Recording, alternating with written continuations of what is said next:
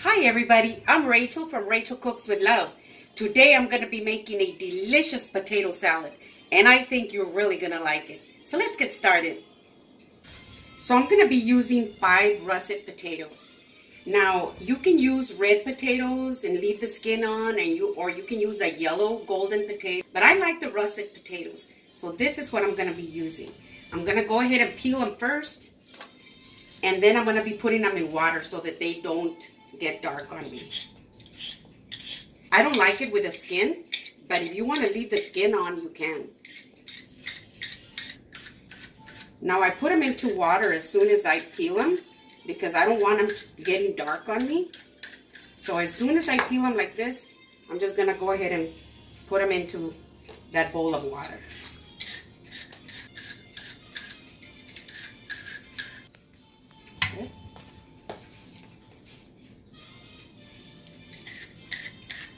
Now sometimes you'll get one with a dark bruise.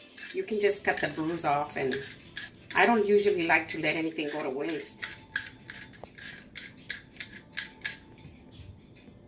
So now I'm going to clean up my area and then I'm going to cut them up into cubes. It's very important that you keep them in the water all the time so that they'll always stay this color. Otherwise they'll get dark on you.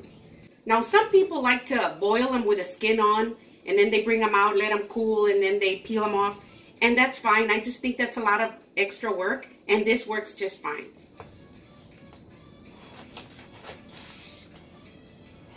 I'm going to put them right back into the water as soon as I cut them into cubes because I don't want them getting dark on me.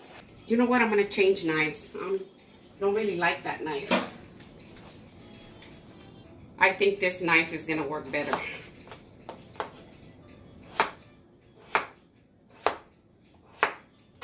When you make your potato salad, you know, they are, some of them are going to break up and you are going to have a little bit of mush. So you don't want to cut them too small. That's why I like to keep them a little big. Because once I add all my other ingredients, you know, you know, they fall apart a little bit, they'll still look good and put together.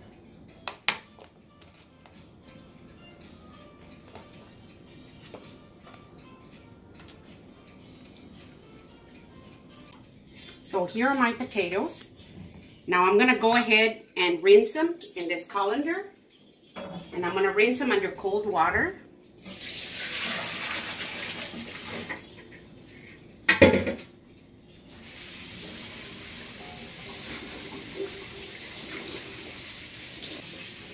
I like to rinse them really well to remove all the outer starch because the less mushier and starchy that you can get them, the better. And it really does make a difference. And that's good. So now in a heavy pot like this one, I'm going to go ahead and dump them in here. And I'm going to fill my pot with water just about an inch above the potatoes. And the water's cold just like this. See? Now I'm going to bring them over here to the stove and I'm going to go ahead and set my heat on high until they come up to a rolling boil. In the meantime, I've got some cold water on this saucer here and I'm going to put in four eggs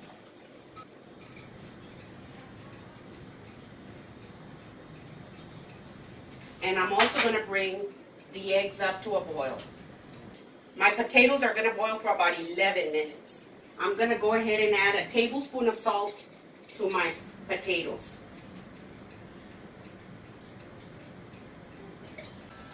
Now the reason that I like to put my potatoes to boil in cold water is because if your water is hot and boiling and then you add your cold potatoes in there, the outside of the potato will get really mushy by the time the heat penetrates to the center of the potato. So that's why I like to put them in cold water so that they can start boiling evenly and the heat can penetrate inside evenly all the way. And you won't have any mushy potatoes. So my potatoes have been boiling now for about 11 minutes. I'm to go ahead and take them out. You don't want them to overcook.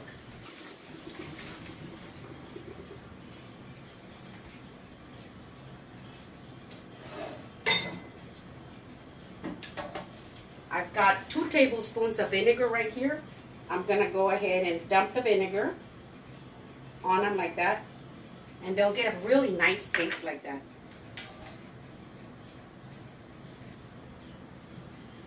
Now I've got this cookie sheet out because I'm gonna spread them out so that they can cool evenly because they're very, very hot.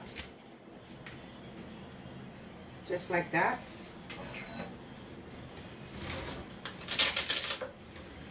And I'll just very gently spread them out.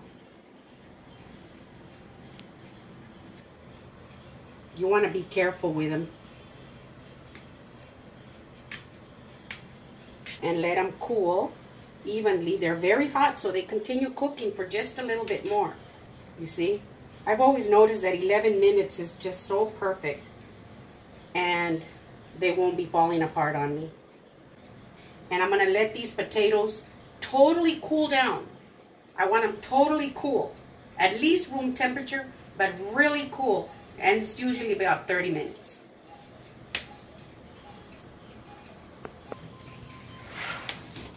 My eggs are ready. Now I like to fill them up with cold water after I dump out the boiling water to stop the process. You don't want to overboil them. Now let them sit there for just about a minute. And I've got some icy cold water over here that I want to transfer them to. So now I'm going to transfer my eggs to the icy water.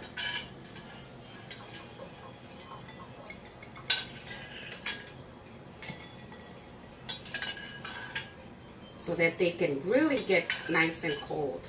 Just like that. So I'm going to let those sit in the icy water until they're totally cold. And as you can see, my potatoes are cooling. I'm gonna give them a full 30 minutes and then we'll come back. I'm gonna go ahead and peel my eggs. Now I like to do it under running cold water like this. And if water can get in between the shell and the egg, it just comes off so quick.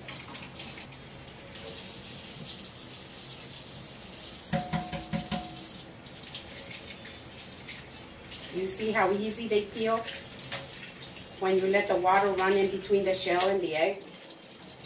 It works for me.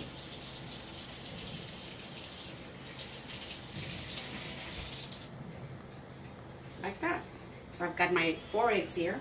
So I'm gonna go ahead and clean up my area right here and get started on my dressing. So I think I've gotten myself situated here you know, all the spoons and the relish and the pickles and all that. So I've got two celery ribs. Now I don't want real big chunky pieces of celery. So I like to just slit these like into four. But if you like big pieces of celery, then you can go ahead and put them in like that. Just fairly small, you know, just like this.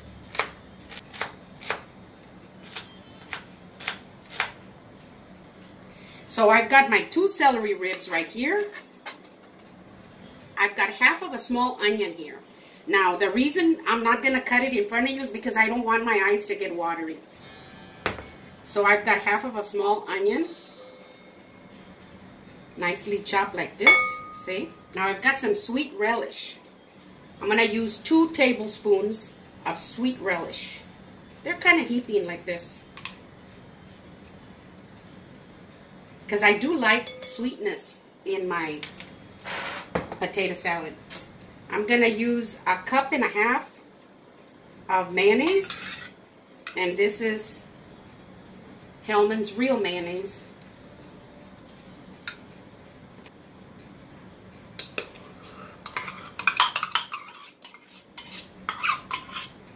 There's a cup.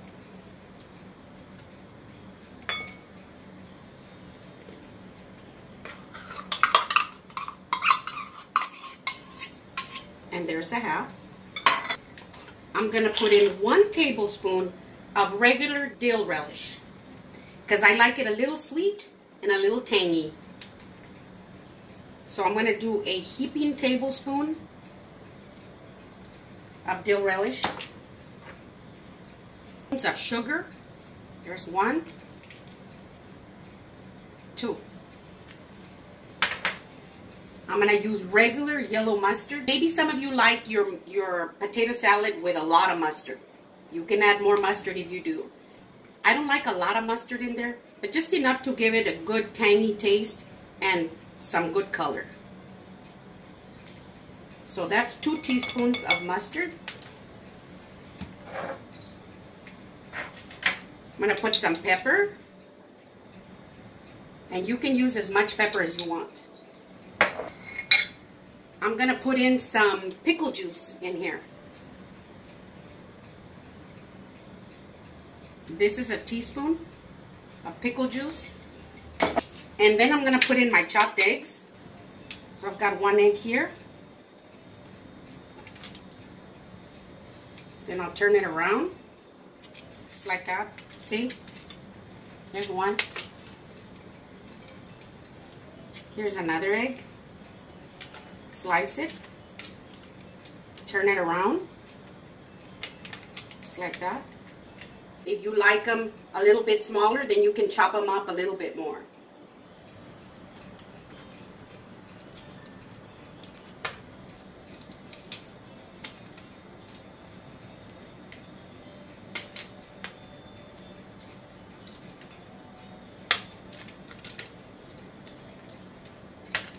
And here's my fourth egg right there.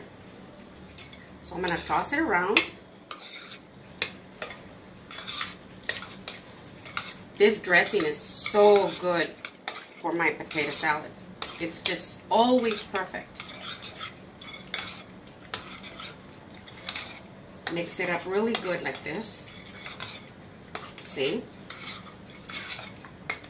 Now, I like my potato salad a little creamy. So I've got a little bit of milk here. I'm just to put in about a tablespoon. Mix it up. A little bit more.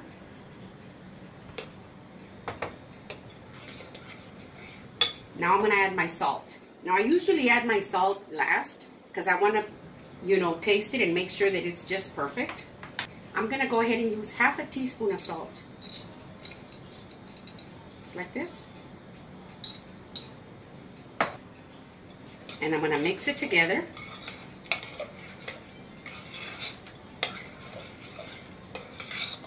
Make sure it all comes together really, really good. I'm going to taste it.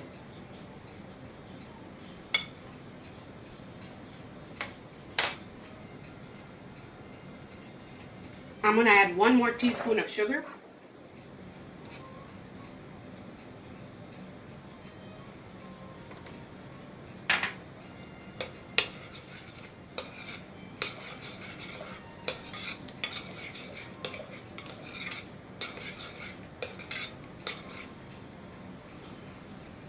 Taste it. Mmm. This is so delicious. Now I'm going to go ahead and put my potatoes in this bowl.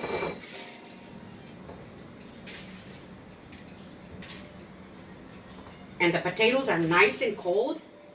So you never want to make your potato salad using hot potatoes because when you put in your mayo and you put in your milk and all that, it'll curdle and you don't want that. So you want to make sure that your potatoes are nice and cold. At least room temperature, but I always let them get really cold. And in this, and on this cookie sheet, being on top of this cold counter, they get real nice and cold. Look at that. See? Now I'm going to go ahead and put in my dressing in here.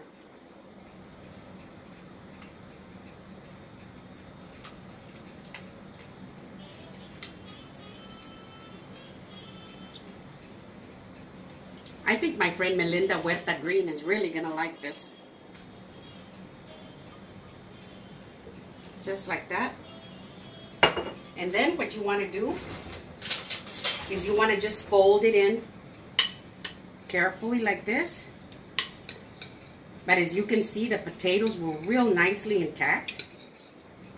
So you don't have to worry about your potato salad getting mushy. See?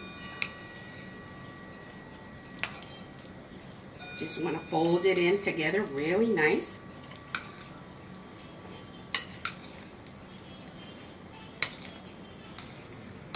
Now I've got some chives here.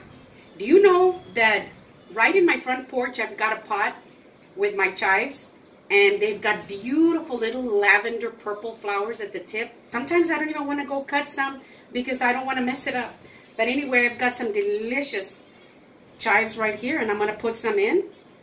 Now I like to use chives because it's not very oniony, but it gives just that little bit of a taste and it gives it such a pretty color. See? Now I'll toss it around. Add a little bit more. And I think I'll put all that in there. It was about a teaspoon. So once you've folded it all in together really nice like this, your potato salad is ready to go. Now if you want it a little bit creamier, you can go ahead and add a little bit more milk. But this usually turns out just perfect. So now let's taste it.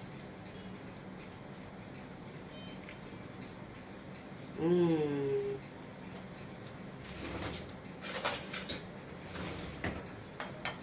And you know, when you put it in the refrigerator, it just gets better and better as the time goes by.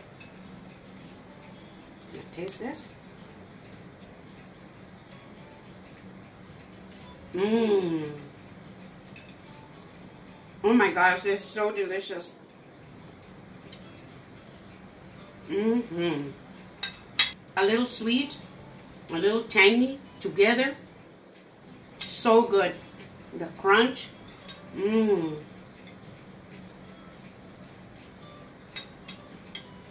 Mm-hmm.